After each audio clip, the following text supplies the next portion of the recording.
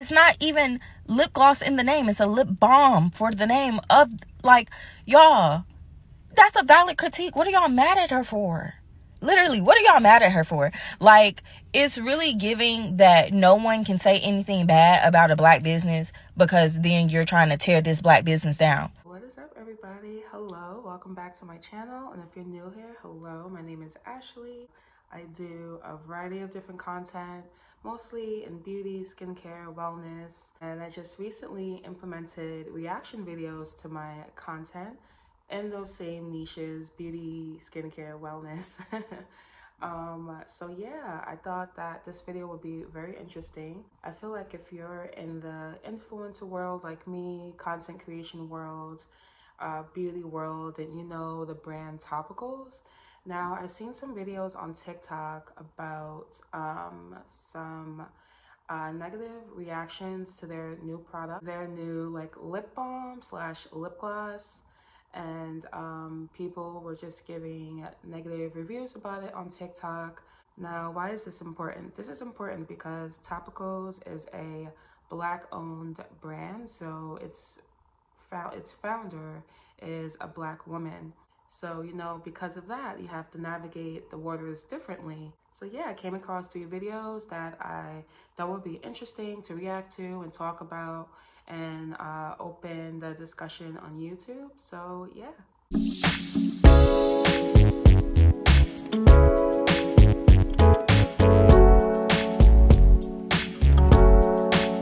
I just want to remind y'all this brand right here is owned by a black woman. Now, the reason why I say that is I really want y'all to be able to speak your mind and talk about how the lip stuff feels for you as an individual. That is okay. But also remember that is a black woman that owns this business. So there is a way that you can give constructive criticism without being rude, without being mean, without bashing the company. There's a way to do that. And some people I have seen that, yes, they give their, you know, constructive criticism. They talk about how it, as an individual, you know, it doesn't really work for their lips, but they, they love the brand and maybe giving, you know, feedback on other things that they can try for the actual product. But there are other people on here that have gotten so rude and mean and just, oh, I, I don't know why people talking about it's the worst stuff ever. It's the worst about ever.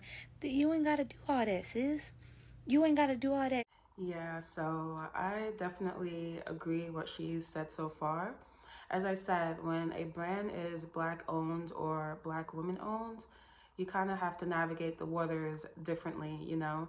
Um, when it comes to, you know, um, reviews and negative comments, negative reviews, um, things of that sort. So, um, yeah, it's one thing to critique a brand um, with the product, with how they handle business, but then to just be like nasty and, you know, and it's even worse when like the brand is black owned we all know reasons why you know? Um, but i definitely can say that like um, sometimes we are sometimes we are our worst enemy in the black community. You know we should and we do we uplift each other but then there's the other side where it's sort of like what is it crabs in the barrel mentality? The company is still fairly new topicals so yeah, there's something called constructive criticism, right? And then on the flip side of the coin, it's just you're giving negative, like you're being mean, negative, unnecessarily like unkind, you know. So there's a way to go about it. Especially to another sister, why would you want to do that? Why? What are you getting for that? All you need to do is say your two cents. You can give your feedback. You can give your um your review of how you feel about it. But once again, this is owned by a black woman. So be very careful on how you get on this app and you talk about the company and the brand as a whole. Again, I definitely agree with everything she said. You know, if you don't like the product um, of a brand, all right, like say why, how they can improve, why you didn't like it, okay, whatever. But like then there's a way to do that without being nasty and mean, you know? Okay, now let's see what this person had to say. So everybody is upset about this lady getting on here and critiquing the topicals lip balm that they just came out with. And it's crazy to me because her critique was really aimed at um influencers because she was like, why didn't y'all say that it has a sticky consistency? And now people are like, oh, you can just say that you put too much on. You're trying to start a topicals hate train and woo woo woo. What we not doing is gonna bat, bash a black business and woo woo woo. Y'all, people can't make critiques anymore. Literally, her critique wasn't even for topicals. It was more so for influencers. Because if she would have known that it has such a sticky consistency, she wouldn't have purchased it because she don't like those things. That's a valid critique. And it's not even marketed as something that would be tacky. It's marketed as something that would be hydrating for your lips. Literally, you could wear it all day, as long lasting, etc. It's marketed as a hydrator, not a lip gloss. It's not even lip gloss in the name. It's a lip balm for the name of like y'all. That's a valid critique. What are y'all mad at her for? Literally, what are y'all mad at her for? Like, it's really giving that no one can say anything bad about a black business because then you're trying to tear this black business down. Or maybe someone just wants to actually review the fucking product properly. Y'all.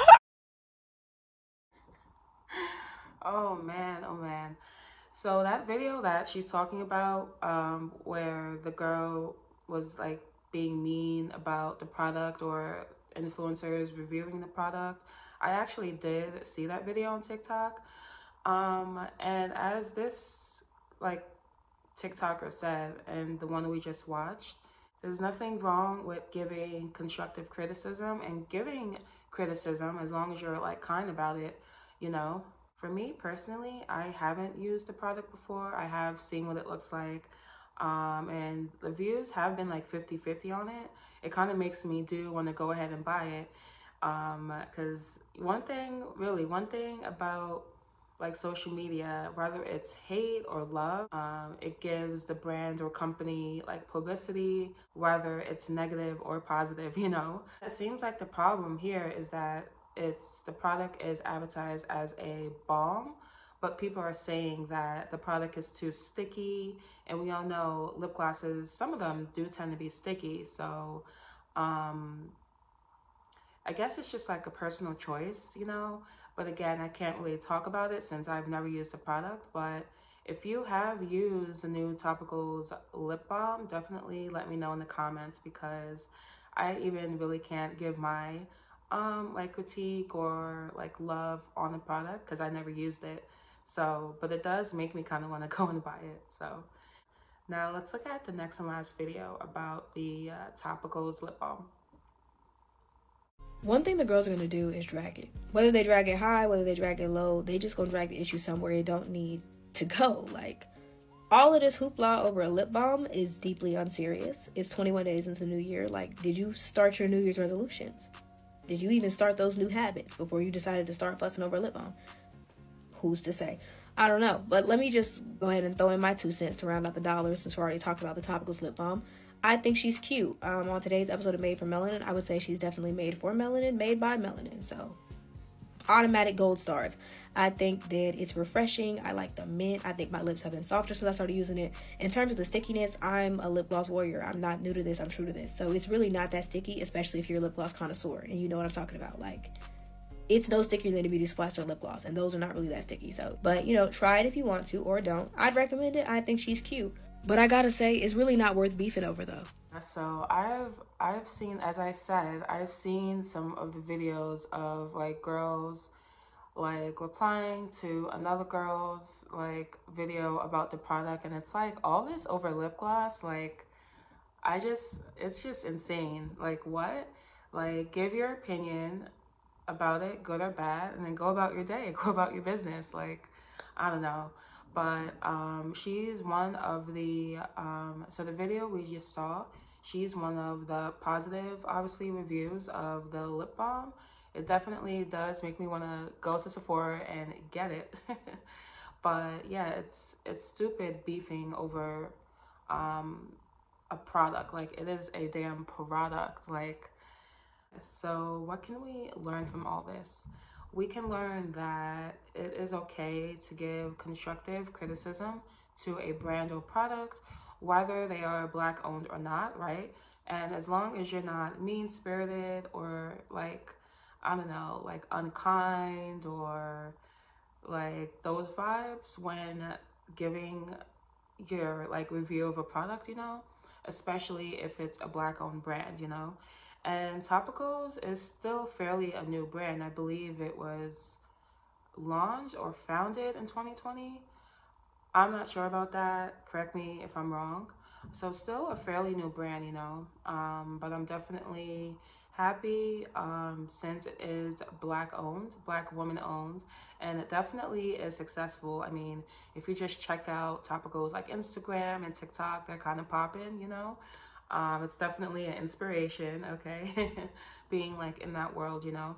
So um, yeah, definitely um, give your thoughts about what we just watched, what I said. Um, like and subscribe, and I'll see you in the next one. Bye.